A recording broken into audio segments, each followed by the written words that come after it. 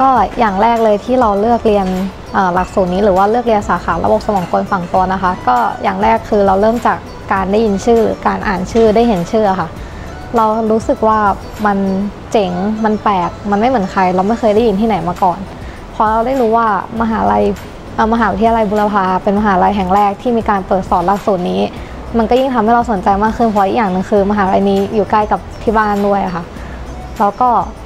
พอเราได้เริ่มค้นหาข้อมูลว่าเออจริงๆเราไอ้ระบบสมองกลฝังตัวเนี้ยมันคืออะไรมันมีความมายังไงทำไมมันถึงอยู่ดีมันเป็นหลักสูตรในการสอนได้ เราก็ได้ไปรู้ข้อมูลมาว่า จริง ๆ แล้วอะไอ้ระบบสมองกลฝังตัว มันอยู่รอบตัวเราไปหมดเลยค่ะ อยู่ในชีวิตประจำวันของเราในทุกที่ด้วย ไม่ว่าจะเป็นเครื่องใช้ไฟฟ้า ไม่ว่าจะเป็นพวกแอร์ตู้เย็นโทรศัพท์ หรือว่าไม่ว่าจะเป็นพวกยานพาหนะก็ตาม นั่นแหละค่ะคือความเจ๋งของมันที่เราได้รู้ว่าจริงๆแล้วมันคือแค่ไอ้คอมพิวเตอร์ขนาดเล็ก หรือว่าไอ้ board microcontroller เนี่ยค่ะ ที่มันแอบฝังตัวอยู่ในอุปกรณ์นั้นๆ แล้วมันทำให้เพิ่มความสามารถหรือเพิ่มความฉลาดของอุปกรณ์นั้นๆขึ้นมา ถ้าถามนะครับว่าทำไมผมถึงเลือกเรียนคณะนี้นะครับ ต้องบอกก่อนเลยว่าผมเป็นคนที่ติดเพื่อนมากๆครับในตอนผมที่เรียนมปลายนะครับพอมาถึงจุดๆหนึ่งนะครับ จุดที่ต้องขึ้นมหาวิทยาลัยนะครับ คือจุดที่ต้องแยกกันนะครับ คือด้วยความที่ผมติดเพื่อนนะครับผมก็ตามเพื่อนมา คือเพื่อนผมอยากเข้าวิศวะของมหาวิทยาลัยบุรพา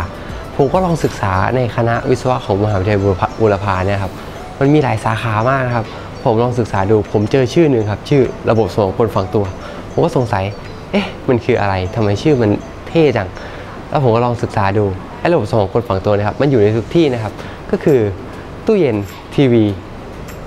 เครื่องซักผ้านะครับ ก็มีระบบสมองคนฝังตัว และสมัยนั้นนะครับฮิตมากครับคือเฟอร์บี้ เฟอร์บี้ก็ยังมีระบบสองคนฝังตัวอยู่ข้างในนะครับ ก็เพราะว่ามันมีการประมวลผลนะครับอยู่ภายในผมก็คิดว่าเอ้ยในรอบตัวของเราเนี่ยครับมันมีระบบสองกลฝังตัวอยู่ทุกที่ ถ้าผมคิดว่าถ้าผมเรียนจบไปเนี่ยผมคงหางานทำได้ง่ายกว่าวิศวะสาขาอื่นๆนะครับ because I am the one who loves to create something that interesting follow YouTube but I want to create something that is interesting by myself and before I want to create or make something that I interesting, I have to have the engineering knowledge.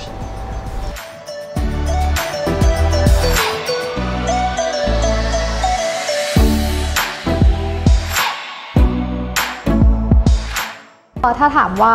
เราได้อะไรหรือว่าเราได้การพัฒนาอะไรจากการเรียนหลักสูตรนี้นะคะ อย่างแรกที่จะเห็นได้ชัดเลยค่ะ คือหลักสูตรภาษาอังกฤษก็คือเราได้ภาษาอังกฤษแน่ๆค่ะที่ใช้ในด้านในการสื่อสารหรือว่าจะเป็นการด้านฟังพูดอ่านเขียนนะคะ ซึ่งเราจะได้มันแน่ๆ จากโดยธรรมชาติหรือว่าจากสิ่งแวดล้อมรอบตัวเรา เพราะว่าเราได้ใช้มันในการเรียนรู้แน่นอนค่ะ ตอนแรก ๆ ก็เป็นคนที่ไม่ได้เก่งภาษาอังกฤษมากมาย อาจจะแค่แบบฟัง ซึ่งพอเข้าใจแต่ในด้านการสื่อสารนี่เราไม่ไม่ได้เลยค่ะ แต่พอเราได้มาเรียนรู้ที่นี่เราได้มาลองเรียนในหลักสูตรนี้ การพูดในทางด้านภาษาอังกฤษ พอเราได้ใช้มันทุกๆวัน เราได้ใช้มันประจำมันยิ่งทำให้เราพัฒนา